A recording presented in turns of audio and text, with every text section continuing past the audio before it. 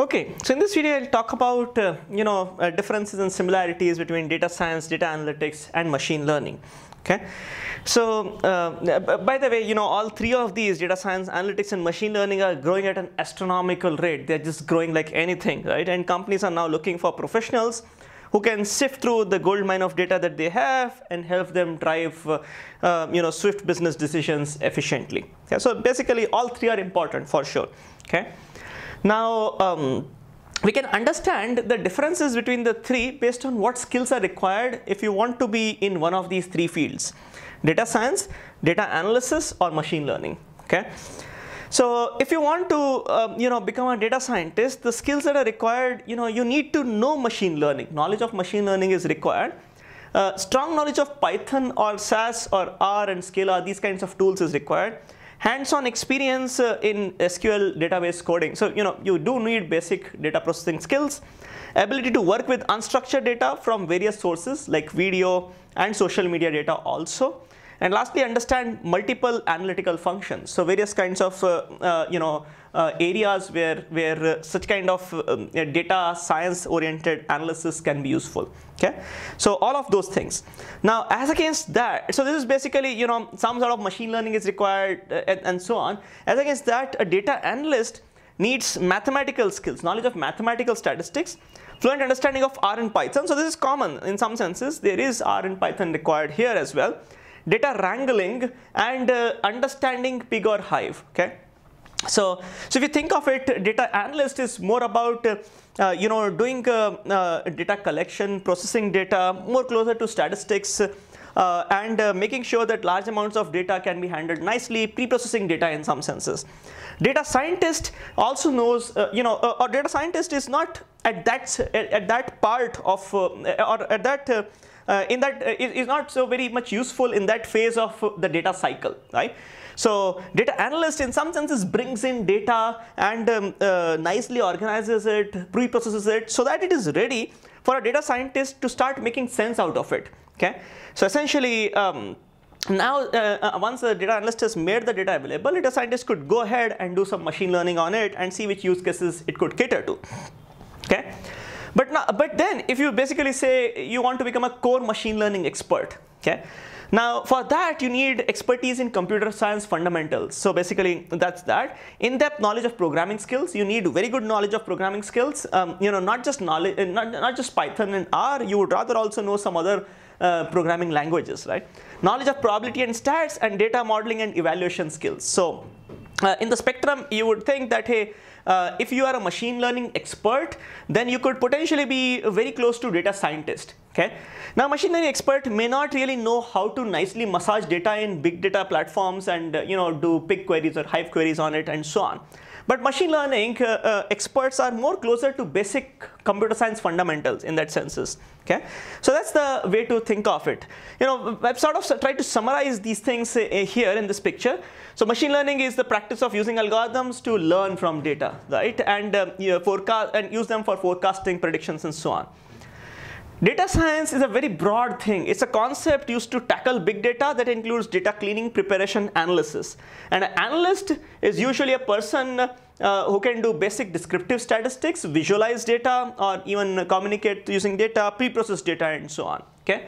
So machine learning experts uh, actually need much more stronger set of skills versus data science or a data analyst. Okay, data analyst uh, is, is a person usually who requires much lesser, cognitively much lesser difficult uh, to obtain skills. Okay, so um, and as we discussed, machine learning expert requires computer science fundamentals in that sense is uh, basic modeling, data modeling, evaluation skills, knowledge of probability stats, in-depth knowledge of programming, and uh, in-depth no in-depth knowledge in that senses, right? Data scientist essentially does need machine learning also, just like this guy needs somewhat. Uh, uh, this guy needs a lot, right? But data scientists need somewhat understanding of machine learning, okay? Um, and data massaging skills, a whole bunch of data massaging skills. Data analyst basically needs uh, skills to obtain the data nicely, um, and and um, uh, you know store the data uh, nicely. So process um, uh, query the data interestingly, uh, do basic descriptive stats. Right. Many of the guys who know Excel call themselves as data data analysts. I mean Excel and Power BI and so on.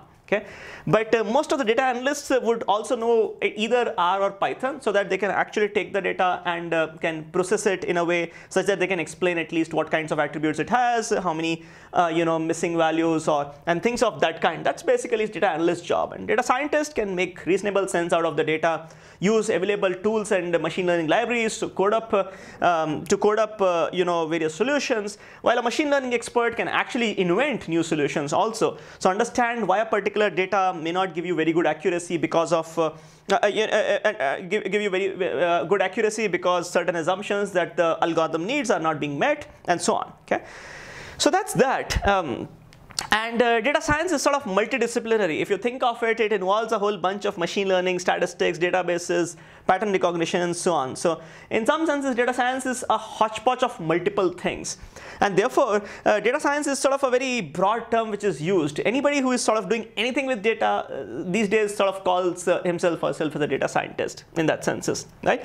But uh, machine learning experts are one level higher up in that sense is that they do understand the core fundamentals of how things work um, and, and which particular machine learning tools should be used for what kinds of data and so on, okay? So this is another diagram which sort of shows you the relationship between these things from a functional perspective. So data science is about analytics, business intelligence, statistics, and data visualization.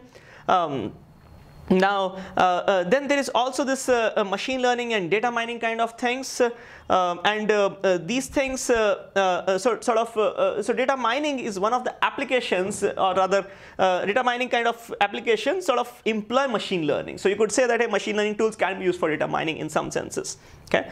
Um, now, uh, uh, while deep learning and deep neural networks are majorly a component of machine learning, but they are also used for doing a whole bunch of data mining. Okay, so don't get confused when I say, hey, deep learning is is data mining only. No, and deep learning is also useful for deep uh, for data mining, but majorly deep learning should be considered as a subset of machine learning in that senses, right?